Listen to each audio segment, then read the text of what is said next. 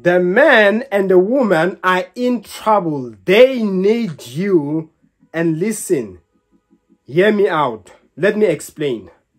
Hello everybody, it's Ishmael N and I welcome you to today's video.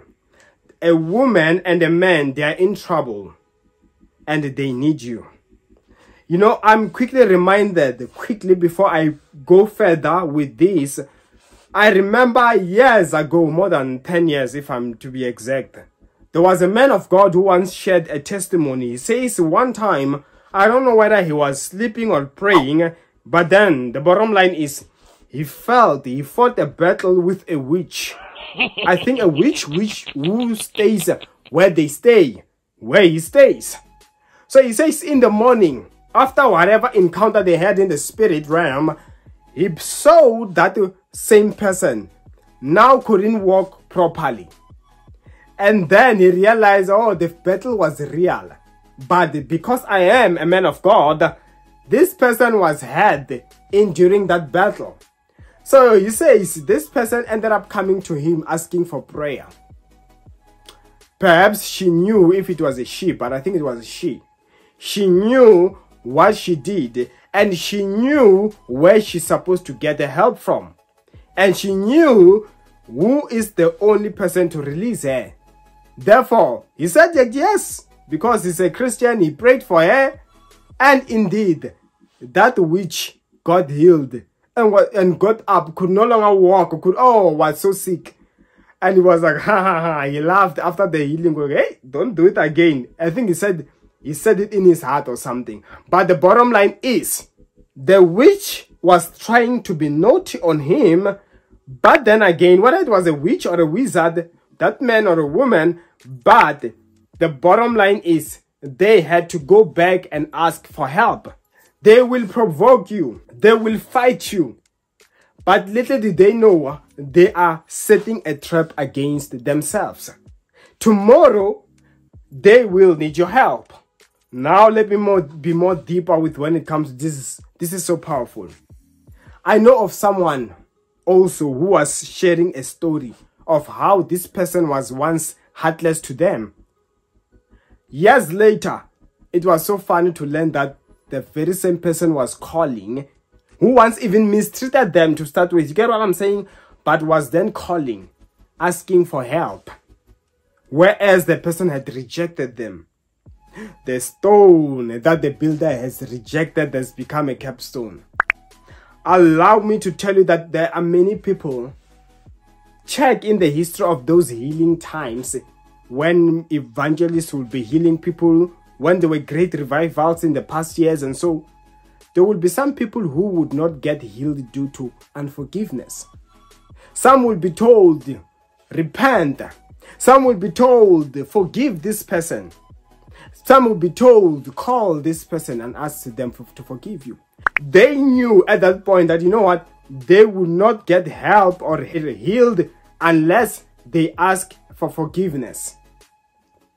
Allow me to tell you, they're gonna come. They're gonna need your prayers. They are messing with the wrong one when it comes to you. That's why they say, in general, in the world, saying they be like, do not burn a bridge. You will need it. It's so funny how I also learned this almost like the hard way, but it was not the hard way because it's not like it was too much. But I learned a big lesson before it could ever get serious in my life. I remember one time I just forgot this guy. I remember I just forgot I might lie, but the bottom line is there was some person years ago. I looked at him and I was like, I looked down on him almost to a point where I feel like I could have mistreated him or taken him lightly. But then one day when there was something, I just forgot what it was, like I've been saying. One day I realized he was the security who was responsible for allowing people to enter and stuff. And at that point, I just wished like, oh, now here is that person and I know him. And sometimes I started to feel guilty. I was like, I can't believe I looked down on this person. But it was better for me because they never saw that. He never saw me looking down on him. That's why I remember him. I think he assisted me then there. But I was like, oh, So life is like this. Some people whom today you feel like they are useless to you, tomorrow they will be the one, even as a security where you might look down on them, you realize that security has so much power that even you where you feel like you have it all, you realize that person can be responsible to, save, to saving me. In that position, he has too much power to change everything. That is why in the name of the Lord, I want to tell you that they gonna call. They need your help. You will be so shocked and don't be so shocked. The very same person that in the past refused to help you, the very same person that passed you with their car, they saw you suffering. Oh, how funny this is. I am reminded about something very amazing as well. How funny this is. Allow me to tell you, the very same person who, when you are down, when things are not nice, passes you with their car, just looks down on you, you'll be so shocked that they be the ones now to come, hey, can't you hook me up with this? I have been in situations where I would see that these people, they are in a good position, life is going well, perhaps they can hook me in. But I would just tell that they don't care any less. You know what I'm saying? But then, when things, the balls begin to roll, I would see when my life starts to, now they also want to have a piece. Now, when you compare, you can just tell that some, they can tell that they look at me in a, like, wow, now I'm up there. I'm like, oh, oh how funny and weird that these people, they've been eating well all along. They saw me suffering, but they never bought that for once. But today, they need my help.